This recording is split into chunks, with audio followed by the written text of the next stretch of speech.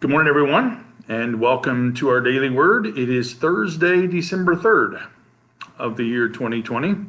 Chilly morning this morning, but I'm glad you could join me this morning as we spend a few minutes together. You can tell I've decided to change my location for our daily word, moved out of my office where it's kind of boring and into the fireside room. You can see the tree and candles and things in my behind me and this is the room last night, of course, where we did our our Advent fireside chat. And so um, that was a good evening to share together, and we'll do that for the next couple of Wednesdays. So I'm going to go ahead and light my candle this morning. The candle, of course, and I'm going to use the Christ candle that usually would be on the mantle behind me, and I'm going to put it there after I light it.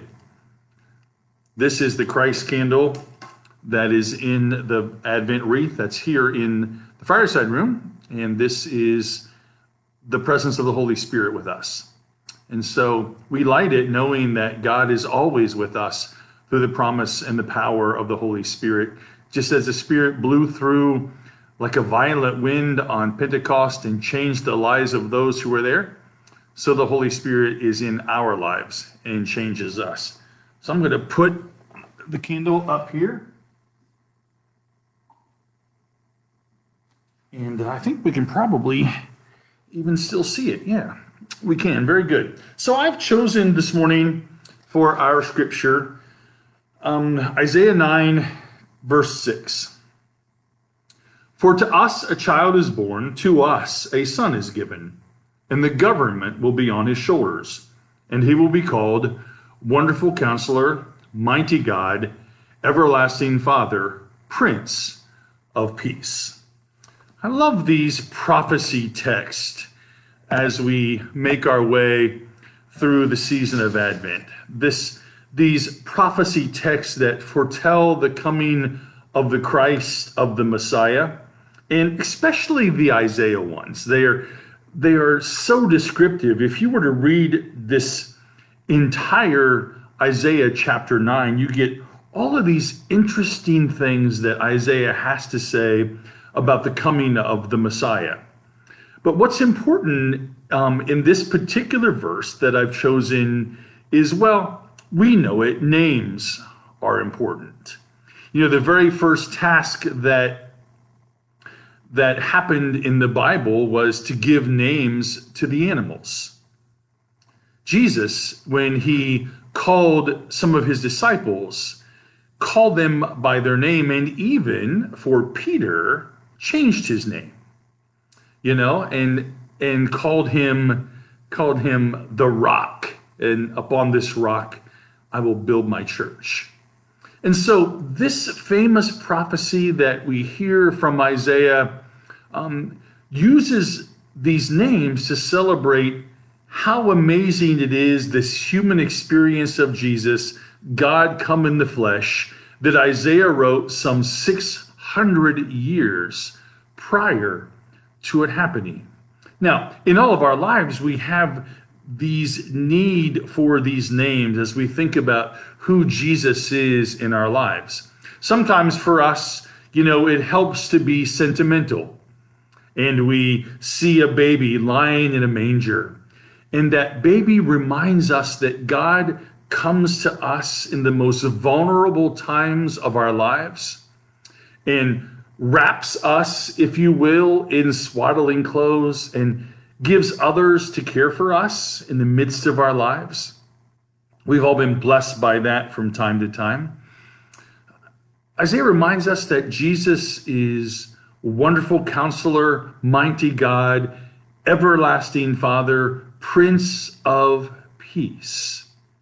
And in a world that was so thrown into chaos, in a world where Caesar Augustus had declared that a census should be taken of the entire Roman world. In a world where Mary, this young woman, said yes to the angel's invitation. And then the chaos of traveling to the, the the hometown of Joseph to be registered for the census. And if you can imagine all the crowd and all the chaos and all that must have been going on as people rushed to those places, I think about that in our world, the chaos that we live in. And take out the pandemic, and this season of Advent is full enough of chaos on its own, is it not? People shop, people go from place to place, the weather changes, we have snow, the roads get slippery. We try to plan for all the eventual things. We we ask and we ask, we ask, what what do you want for Christmas? What do you want for Christmas? And we don't always get the answers that we want. We try to shop and do all the things and prepare for all the hubbub of Christmas. The chaos of that can sometimes for us be overwhelming. I was thinking about it last night when I when I got home. You know, I, I really enjoyed our Advent fireside chat last night. Um, I love the book that we're going to use. Um, no one's asked me for a copy yet, but I'm really willing to buy you a copy if you want a copy. Um, I thought about all of that and, and our conversations and, and Kelsey Heiler coming online with us and being in that conversation and our traditions. I thought about, you know, our our own genealogies and and I want to say more about that at another time. I won't ex- elaborate today. But I thought about all of that and what we do on Sunday morning and this daily conversation and then and then every Wednesday and and trying to make all of this connect and and for me these are reminders for us that Isaiah some 600 years before Jesus was born said to those who would listen look a child is born a son is given, and the government will be on his shoulders. And he'll be called Wonderful Counselor, Mighty God, Everlasting Father, Prince of Peace. You know, it's an incredible promise given to us that we're not left alone to figure out everything by ourselves, that this wonderful counselor Jesus will guide us.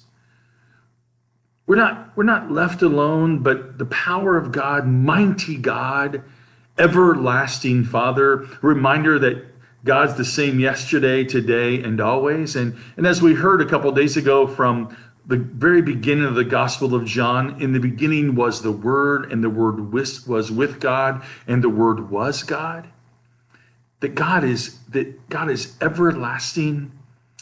And finally, that there is this name, the Prince of Peace.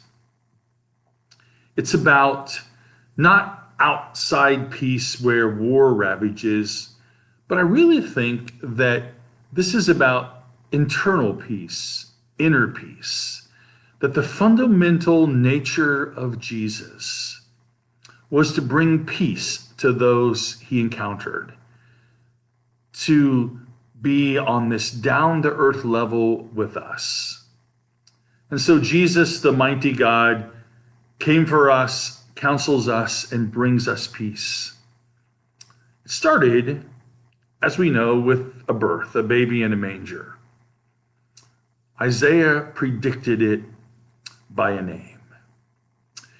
And I think, you know, in this season of chaos, that's something for us to hold on to, something for us to be reminded of. That while the world is always chaotic, always has been, always will be, all the way back to Mary and Joseph making their way, while chaos is around us, Isaiah says, in the midst of that chaos, a child is born, a son is given.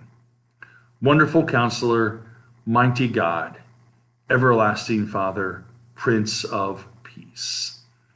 And I hope that for us in this season, that we might ponder that a bit, that we might know that God is always present with us.